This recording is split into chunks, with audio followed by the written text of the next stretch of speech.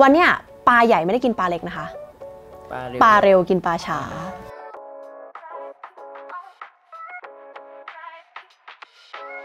อันว่ามันอาจจะเป็นเรื่องค่านิยมอะค่ะอาจารย์ มันเหมือนกับว่าวันเนี้ยคนไทยเนี่ยจะมีจะมีความเชื่อบางอย่าง ว่าอาชีพแบบเนี้ยแหละทำเงินอ่าแบบสิ่งนี้สิ่งนี้มีชื่อเสียง สิ่งนี้สิ่งนี้คือสิ่งที่ควรยกย่องเชิดชูอะไรอย่างเงี้ยค่ะ ทีเนี้ยพอเราติดอยู่กับความเชื่อที่มันที่มันก็เป็นความเชื่อแบบเดิมอะค่ะเขาเรียกว่าอนุรักษ์นิยมอย่างเงี้ยค่ะพอเราเราเป็นเราเราติดอยู่กับสิ่งเหล่านี้ปุ๊บเนี่ยมันทำให้เราไม่ได้มองเห็นว่ามันมีความเป็นไปได้อะไรอื่น ๆอีกบ้าง อย่างวันเนี้ยอาชีพตานะคะ อาชีพเนี้ยไม่ได้เกิดขึ้นเมื่อประมาณ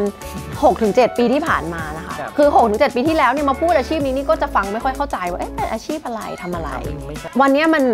ด้วยเทคโนโลยีด้วยนวัตกรรมด้วยอะไรต่างๆ ที่มันเปลี่ยนไปอะค่ะ มันก็ทำให้คนมีพฤติกรรมเปลี่ยนการกระทำอะไรมันเปลี่ยนแล้วมันเปลี่ยนเร็วขึ้นทุกวันด้วยอะค่ะครับวันเนี้ยปลาใหญ่ไม่ได้กินปลาเล็กนะคะ ปลาเร็วปลาเร็วกินปลาช้าใช่